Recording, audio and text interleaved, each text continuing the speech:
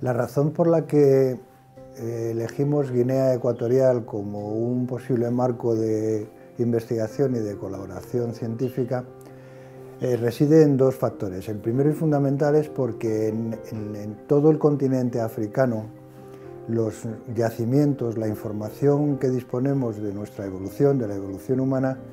procede de países que están ubicados en el este del continente y en el norte por otro lado y en el sur. Pero todo lo que se denomina la cuenca del Congo, es decir, todo el oeste y la selva tropical, no hay nada de información paleoantropológica.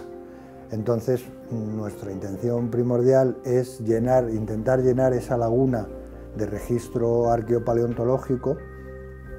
porque sencillamente carecemos de toda información. Y el por qué Guinea Ecuatorial es porque está ubicado en esa región del planeta y porque tenemos unos lazos históricos, culturales y lingüísticos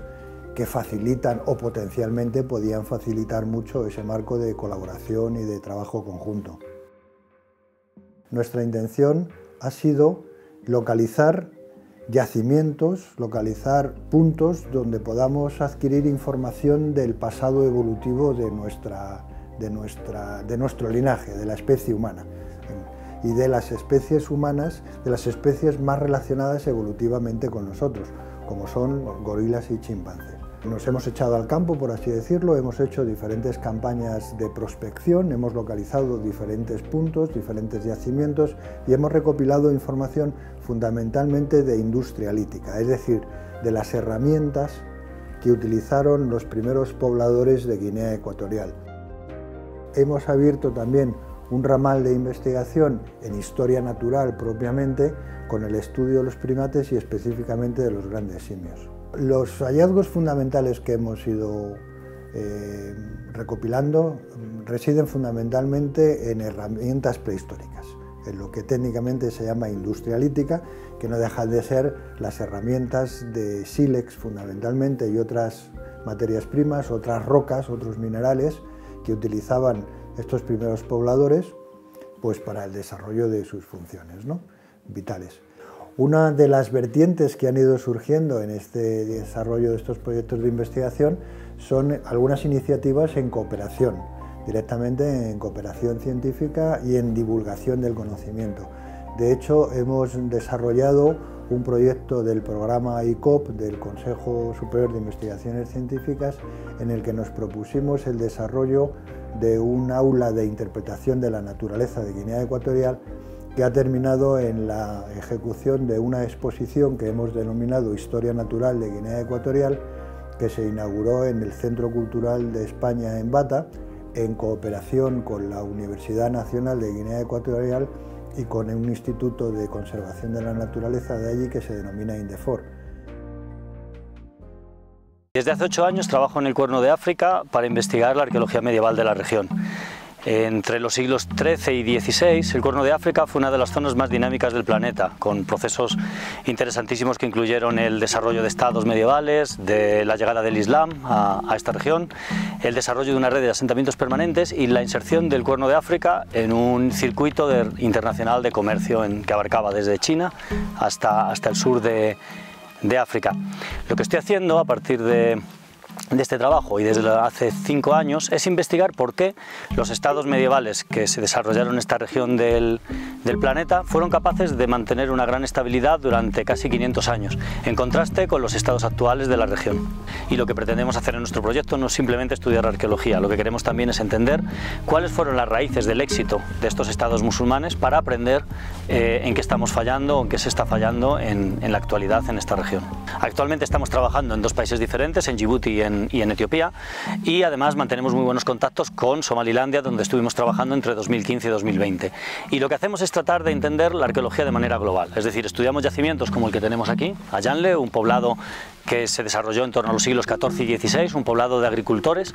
em, en el que hemos estado excavando este año, pero también intentamos entender cómo funcionaba el territorio en aquel periodo, de manera que hacemos prospecciones para localizar yacimientos hasta ahora desconocidos, tratamos de clasificarlos, recopilamos toda la información posible acerca de las fuentes históricas y fuentes orales que hablan de estos yacimientos y también estudiamos de manera sistemática y por primera vez en la, en la historia los materiales arqueológicos de esta región. Y hemos recogido eh, cientos de, de, artefactos, algunos de ellos de altísima calidad, incluidas eh, materiales que nos relacionan eh, esta zona con lugares tan lejanos como China o como Persia y que nos hablan de la riqueza y la sofisticación de un mundo que ahora mismo pues, no, se, no se ve de esta manera en, digamos, en la opinión pública global. ¿no? En este, en este año. Hemos iniciado además otra línea de investigación que creemos que es fundamental para el,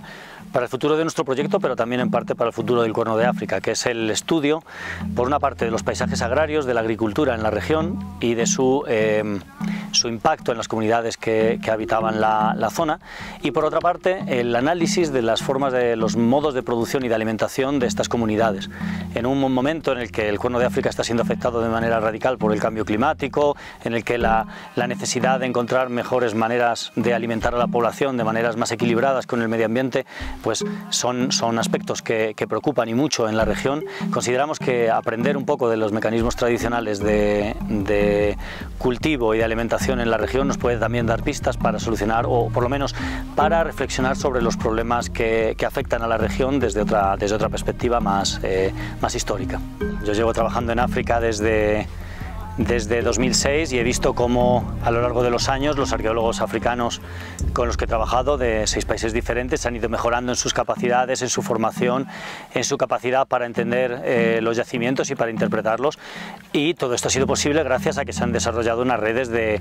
cooperación entre, entre arqueólogos europeos, españoles en este caso, y arqueólogos africanos, de manera que ahora mismo el, el proceso de aprendizaje y de trabajo entre los dos equipos es, diría que, que es recíproco. Nosotros eh, participamos con nuestros recursos, pero a su vez nosotros aprendemos también de la forma en la que ellos eh, analizan, estudian, interpretan los yacimientos y también cómo ellos se relacionan con las, las comunidades locales. Desde mi punto de vista y desde mi experiencia desde hace ya casi 17 años, la cooperación internacional con países menos desarrollados es también fundamental, porque nos da una visión de la realidad que no es la eurocéntrica, que no es la que se construye desde nuestra, nuestra formación académica, sino que nos da una visión que es muchas veces más pegada a la realidad de los países y de las realidades que queremos estudiar.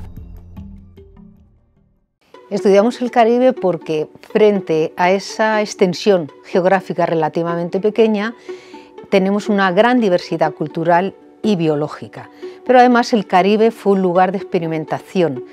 tanto de nuevas sociedades de mestizajes étnicos y culturales, pero también de una experimentación, por ejemplo, agrícola. Sin eh, la la conquista primero y después colonización del Caribe, no tendríamos una historia del mundo moderno como, como la que hemos tenido y el mundo actual. En el Caribe tenemos una eh, gran diversidad de sociedades y eh, de culturas. Esto es eh, un ámbito maravilloso que enlaza no solamente en los estudios nacionales o regionales del Caribe, sino que tiene que ver y que remiten a un espacio geográfico más amplio, como es el mundo atlántico, en el cual incorporamos no solamente Europa, sino África, África como uno de los actores principales de nuestro estudio. El proyecto está estructurado, podríamos decir, en cuatro temas. El primero sería el análisis de la esclavitud, eh, del sistema esclavista enmarcado eh, dentro de los colonialismos eh, de los países europeos. El segundo está enlazado con, el primero y tiene que ver con el análisis de todo el aparato eh, discursivo o los dispositivos, mejor dicho, dispositivos eh, ideológicos que sustentaron y que justificaron la esclavitud. Y no solamente la esclavitud, sino también provocaron el racismo, la xenofobia y sociedades eh, desiguales, una lacra social y cultural que arrastramos hasta la actualidad. El siguiente gran eje sería el análisis de los modelos económicos, urbanos eh, y sociales de, esta gran región. Y el cuarto sería el trasvase de conocimientos, eh, de ideas y de representaciones en y del Caribe. Se podrían resumir en tres grandes objetivos. El primero sería la creación de redes. Esto no solamente es un proyecto de conocimiento, sino de establecer alianzas y de establecer puentes de, cultura entre varios, entre varios continentes. El segundo sería eh, la formación de especialistas. Eh, tanto postdoctorales como predoctorales. Y el tercero, por supuesto, es la difusión, la transmisión o transferencia del saber, que la hacemos a través eh, de los pares, de, la difusión del conocimiento en las monografías, en los artículos, en congresos, pero también un punto central es eh, comunicar a la sociedad los resultados que estamos obteniendo.